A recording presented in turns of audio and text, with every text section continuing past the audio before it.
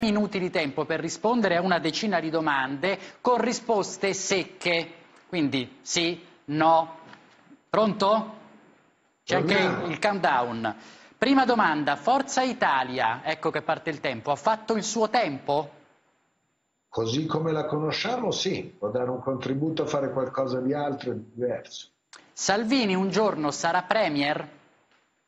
Me lo auguro, ci ho creduto fino, si direbbe, da quando ero un ragazzo, insomma, da quando, da quando abbiamo eh, conquistato insieme questa regione cinque anni fa. Io mi auguro che, che lo faccia, che lavori soprattutto per farlo e che ne sia convinto lui stesso. Salvini ha perso alle ultime elezioni? No, il centrodestra ha vinto le ultime elezioni e dunque anche la Lega ha vinto le ultime elezioni, soprattutto Salvini ha vinto le ultime elezioni essendo il capo coalizione fino a prova degli elettori contrari ad una coalizione che ha conquistato una regione in più. Lei parla della Liguria? No, io parlo delle Marche che è stata conquistata in più e abbiamo ottenuto tutte le nostre. E la sconfitta quindi... in Toscana? Beh, la sconfitta in Toscana diciamo, è come una squadra che va a giocare fuori casa contro il Bayern Monaco, il Barcellona o il Real Madrid. È una no, io non capisco più... di calcio, quindi ha detto una cosa sicuramente giusta, quindi non, non va benissimo. Dico che, perdere, dico che, perdere, in Toscana, una regione storicamente sì, rossa, certo. mai vinta dal centro, dal centrodestra, in tutta franchezza non mi sembra una notizia. È, è, è l'uomo che morde il cane la notizia, non il cane che morde l'uomo. Se avesse vinto sarebbe una grande notizia. Sovranismo vuol dire? Tutela degli interessi nazionali, credo, talvolta però è stato usato molto a sproposito anche nel dibattito politico. Conte è stato bravo a?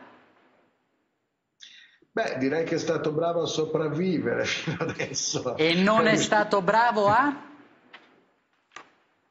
Beh, no, ma non credo. Guardi, io ho buona stima del presidente Conte. Credo che purtroppo non sarà mai bravo fino a quando governa con dei partiti che tra loro non c'entrano niente l'uno con l'altro. È stato bravo a fare il vigile urbano all'incrocio per evitare degli scontri. Non sarà mai bravo a far andare in pista quelle macchine più veloci di quanto non stiano andando perché non vi sono le condizioni. Raffaele Fitto è stato il candidato giusto per la Regione Puglia? Beh, Raffaele è un amico, un politico che sa fare il suo mestiere, molto preparato, penso, penso di sì, francamente, dopodiché il fatto di vincere o perdere non sono solamente qualità del candidato. Giù dalla torre, Nicola Zingaretti o Luigi Di Maio? No, non mi fate fare cose violente. Io non, non butterei giù senza violenza, senza violenza. Non butto giù dalla torre nessuno, ma francamente non vado politicamente d'accordo con nessuno dei due. Personalmente sono due persone gradevoli entrambi.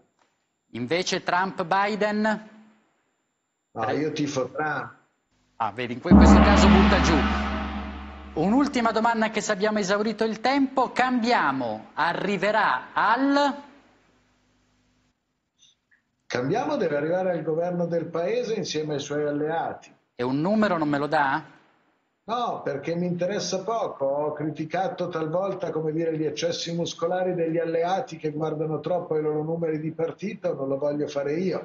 Io voglio arrivare, dare il mio contributo, far arrivare il centrodestra a Palazzo Chigi e farlo arrivare in forma equilibrata. Dopodiché sono disponibile e sereno a lasciare tutto lo spazio agli altri. Grazie al Presidente della Regione Liguria Giovanni Toti, al quale auguriamo